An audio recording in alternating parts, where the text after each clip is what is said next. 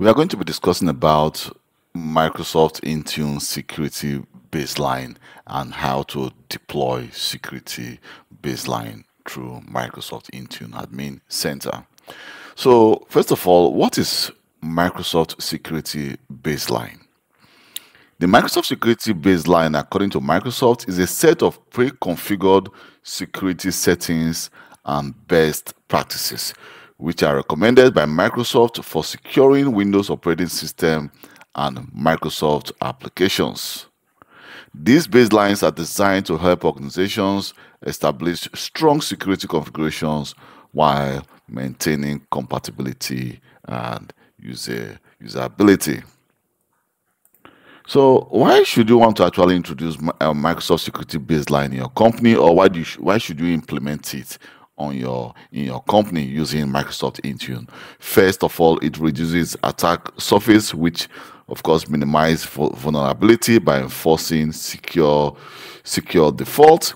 It speed up deployment. Organization can quickly implement a tested security configuration, and also it ensures ensures consistency, which is a standardized settings across multiple devices, reducing security gaps. And lastly, it facilitates compliance.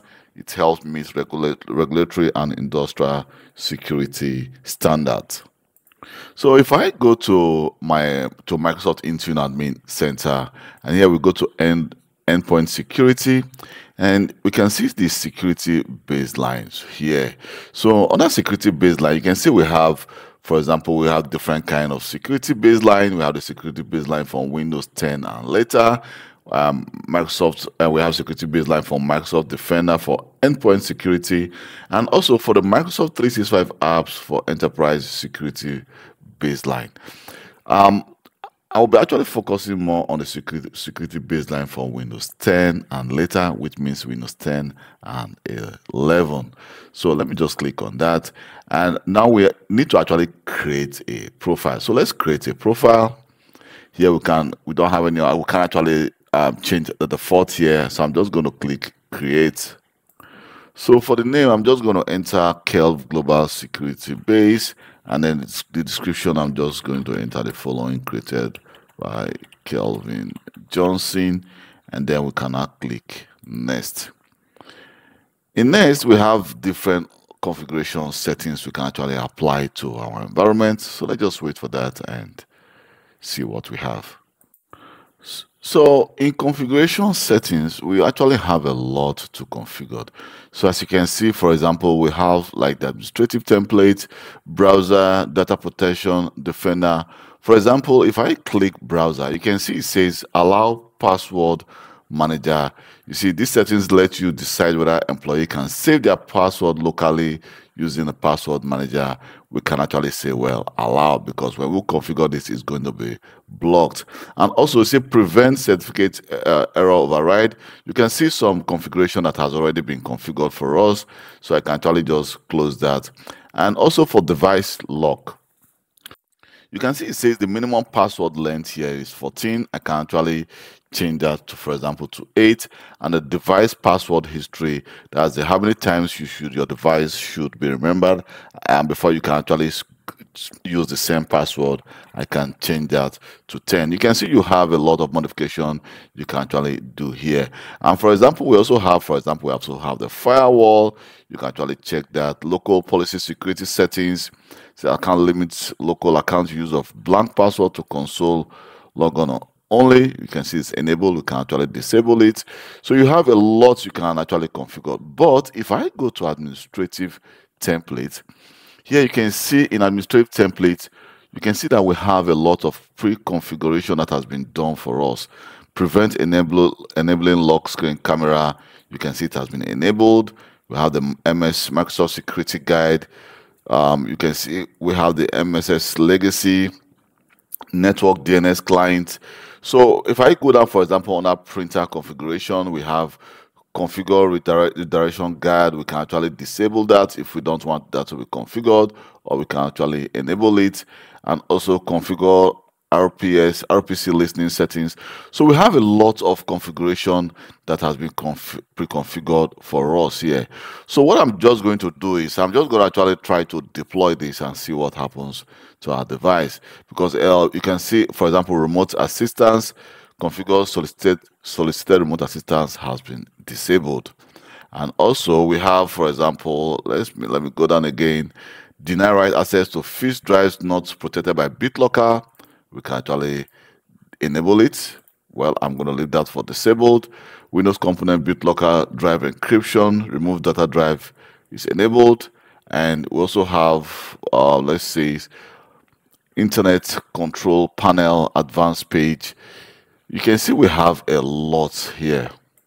So I will, I will always, always advise you before you actually do this in a production environment, make sure you sit down with your security teams, with your system engineer to actually make sure that the right configuration, the right security baseline is being configured. If not, your users may be having some issues doing some other configuration or performing some actions on their device. So I'm just going to leave this the way it is and then click next. And then for the scope, I'm just going to just don't add any scope. And for the assignment, I'm going to add well, let me just add a group. I have a Windows 11 device, so I'm going to actually select my Windows 11 device and click select. You can see we have one device there. Click next and then check if everything is okay. Click next. Here we can now click create. So this is going to create the security baseline. And mind you, just like I said before, if I go back into security baseline, for example, we have the Microsoft 365 apps. We can decide to create a profile for the Microsoft 365 apps. Let me just call this test and show you what I mean. So here we go. You can see, for example, you can actually create a baseline that does a lot for the Microsoft um, Office 2016. You can see, so you want to actually make sure that block macros from running in Office files from the internet users which is enabled for Visio as well. You can actually do the same.